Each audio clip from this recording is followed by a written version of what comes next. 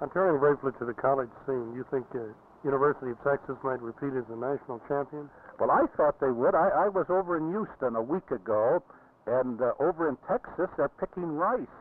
And Jess Neely, the Rice uh, coach, uh, told me if he could come up with one more good tackle, he thought he had a very good chance. Uh, however, I think I would go along with Texas. Uh, I see they're picking Oklahoma to have a great year also. In the southeast, uh, I would say probably Alabama and Mississippi. Uh, over this way, uh, I don't know too much about it, Bill. Uh, Duke who generally has a good ball club. Uh, Clemson, Frank Howard's one of my favorite guys.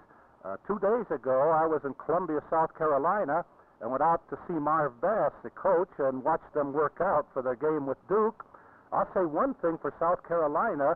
I don't know how good they're going to be, but they've got some big kids. They've got boys look to me as if they weighed 245, 250 pounds. They'll have a big line, and they seem to have that spirit, so they might have a good ball club. Have you seen Duke yet? Uh, no, I haven't. Uh, I haven't seen Duke, but uh, I watched them last year, and I know what they're one of the great ones. And of course, of course, uh, Coach Murray down there is one of my favorite guys, a great coach.